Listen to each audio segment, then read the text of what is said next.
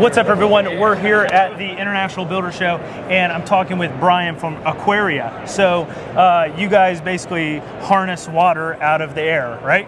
Exactly. Tell us a little bit about that. Yeah, sounds good. So we've created the solution uh, that is able to help entire communities unlock access to water just directly out of thin air.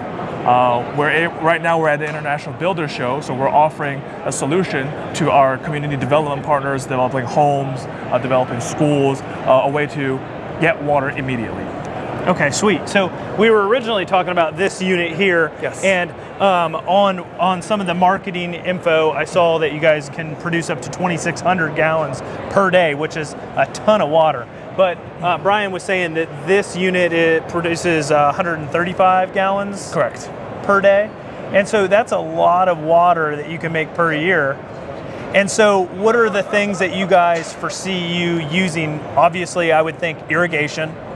What What are your goals as a company to Yeah. produce water for? Sure.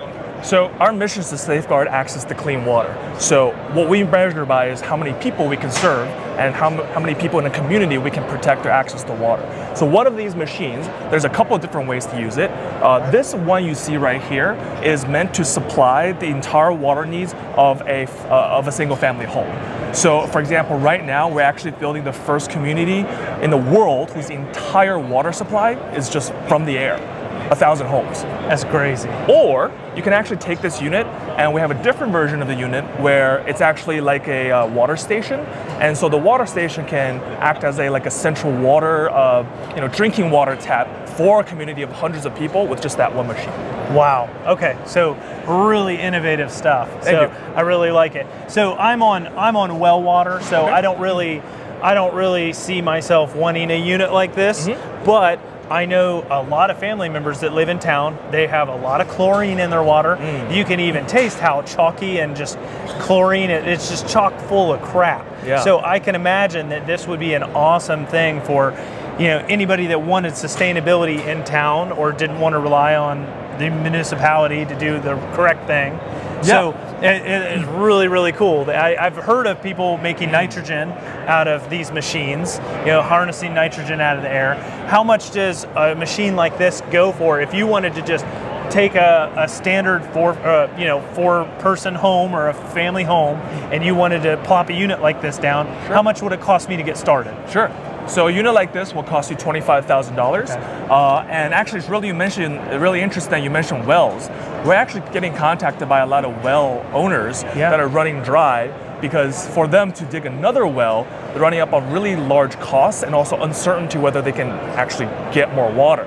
So actually, we are getting contacted by a lot of well owners as well. I like that. I didn't even think about that. And it brings another point uh, as I live around a small lake, a man made lake, and a lot of the customers there are dealing with softener issues and, and water filtration and, and things to take all the sulfur and the crap out of the water that this thing could take care of. Obviously, it's a large upfront investment, Yes. but what about all the filters? What about hiring a plumber? And what about all of the fixtures that you go through and you know you kill because of hard water?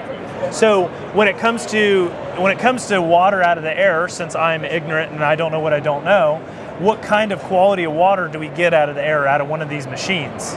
Do you have to treat it at all? Is it just immediately, you know, it's not like condensate, right? It's not like condensate water off of a furnace or how does that work? Yeah, that's a great question.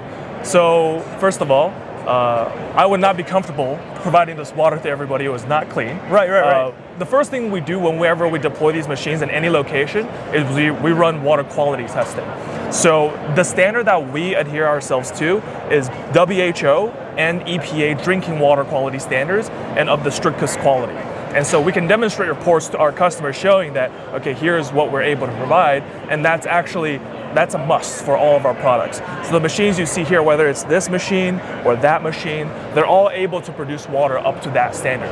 Now, let's say you might not want to have that for, let's say, toilet flushing water.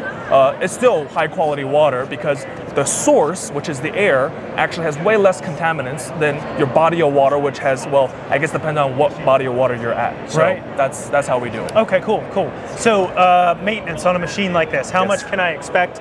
How long can I expect it to last, and how much maintenance do I have to worry about on a machine like this? So the machine is rated for 15 years of operating lifetime. Uh, of course, it can last longer than that, uh, but that's what the official you know rating is for. And then on top of that, the only work or maintenance you have on it is switching out the air and water cartridges about once every quarter or so Okay. to maintain the quality of the water. Um, and, and that's all you got to do. Cool, cool. And how much can I expect to, to spend on the water filter cartridges? Or, yeah, wa- air water filter cartridges. Yeah. That's, that's the exact term. Okay. You know, air All right. water cartridges. Uh, it's about five hundred to thousand dollars per change, uh, depending on the unit that you're getting, and that will guarantee your water quality, know, uh, for uh, for at least a couple of months. Now it's dependent because I say that's a range.